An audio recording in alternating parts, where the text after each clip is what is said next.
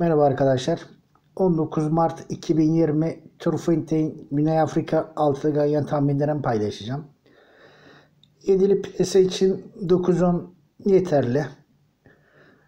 Altınının birinci ayağında 8 numara tek gibi gözüküyor. Ama ben burayı yıkacağım.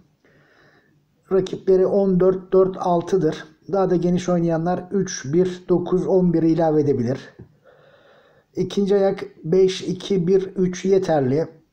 Daha da geniş oynayanlar 4 ile 8 ilave edebilir. Üçüncü ayakta bir tek çıkıyor. Dördüncü ayakta 7 numara alternatif tekimizdir. Rakipleri 5-1.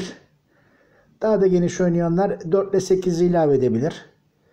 Beşinci ayak 6-5-4 yeterli. Farklı bir kurguda 7-3-8-1 ilave edilebilir. Son ayakta 4-3 yeterli. Rakipleri 6-2'dir. Daha farklı bir kurguda 10 ile 9 da ilave edilebilir. Kuponu özetleyecek olursak birinci ayak 8, 14, 4, 6. İkinci ayak 5, 2, 1, 3. Üçüncü ayak 1 tek. Dördüncü ayak 7, 5, 1. Beşinci ayak 6, 5, 4. Son ayak 4 ve 3 şeklindedir. Herkese bol şanslar diliyorum.